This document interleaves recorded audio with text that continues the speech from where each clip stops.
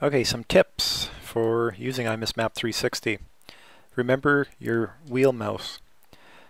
Wheel in, wheel out, wherever the cursor is when you wheel in, zooms into that location or zooms out from that location. Double middle click does a zoom extents. This little button here lets you change between the different built-in user modes. The button next to it lets you switch between different drawings that you have open. Remember that escape is your friend and if you ever get into um, situations where you, in this case here I just clicked and to select objects you can do a, it's called a window crossing and you'll see when I click again all of these objects have been selected. And whenever that happens, remember escape is your friend. Press escape and it's like hitting cancel. It just cancels out of whatever command you're in. And even if you accidentally start a command, such as, in this case here, the line command, you can just hit escape to cancel it. So the easiest way I remember is just escape's your friend. For selecting objects, just remember left click, the grip markers appear, and then you can use those grip markers to edit that object. Your undo options are right here at the top. So you can undo that edit if you need to.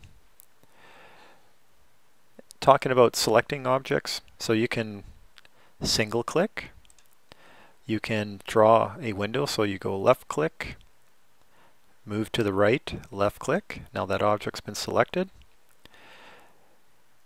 When you do a window to the right, only objects contained entirely within the window will be selected. So in this example here, if you look at this text down here at the bottom, even though the window is not entirely going around the text, it's not going to select it. But if instead I do a crossing window, so it's roughly the same size as the previous window did, the only difference is I'm going to the left now.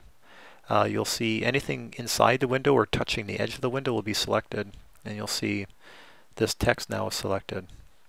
I'm going to cancel by hitting escape, escape's your friend,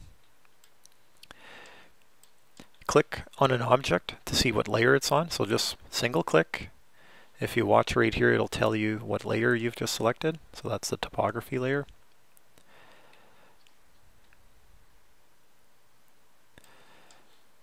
You can load additional options on a ribbon if you want by just right clicking and selecting the tab you want to show, such as the point cloud tab.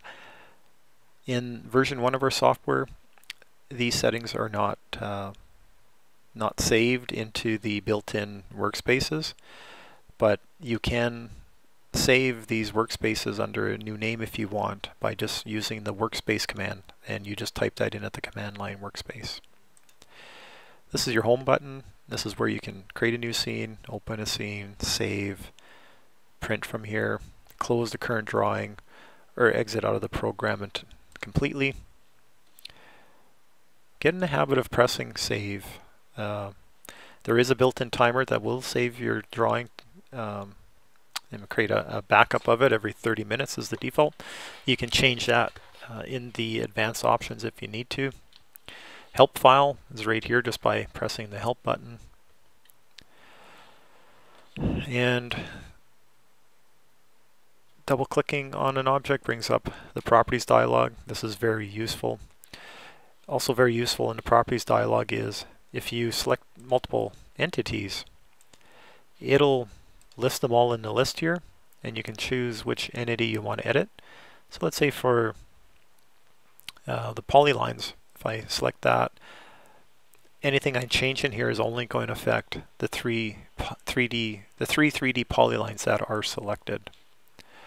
If you want to close property dialogs, just do that and hit escape. And those are some user tips that uh, most new users need to know when they first start using IMS Map 360.